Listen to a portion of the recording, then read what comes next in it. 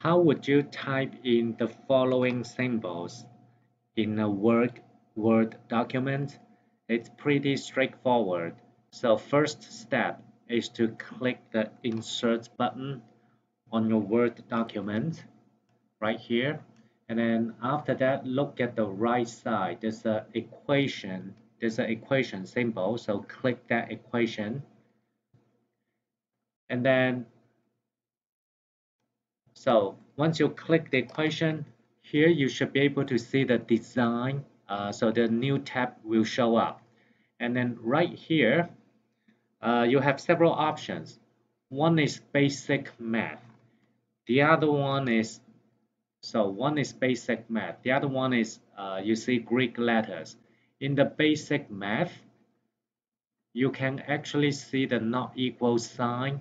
That's what you usually need if you uh, uh, want to find a method symbol. So most symbols here that should be sufficient for you, including the less than, greater than, etc. Okay. Now let's take a look at. So that that's how I would type in the not equal sign. Uh, I'll pick the not equal. That's it. Uh, how about you? How how do you type the other ones? And to type the X bar, X bar once you're in the equation mode. So when you see that that means you are in the equation mode. So when you are here to type in X bar two ways. One use the uh, use the accent here. There's an option called accent here. And then you will pick the X bar which looks like this one right that's what you're going to use. So you can do that. I'm going to show you, uh, I'm going to do that here. So I'll pick that one.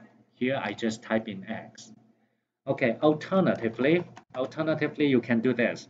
Backslash, I'm sorry, X and then backslash BAR, bar, and hit the space on your keyboard. That's the second option that you can do. Uh, for the P hat, uh, go to the equation mode and from the accent you do choose the hat uh, I think this is this is the one. So you, that's the option that you can have. Alternatively you can do the P backslash hat and then hit space on your keyboard. That's how you do it. Uh, for all the uh, Greek letters uh, this is what you can do and then once you go to the equation mode, make sure down here you choose you choose Greek letters instead of the basic math. I'm gonna do that again. Greek letters. And then here you should have most Greek letters that you will use.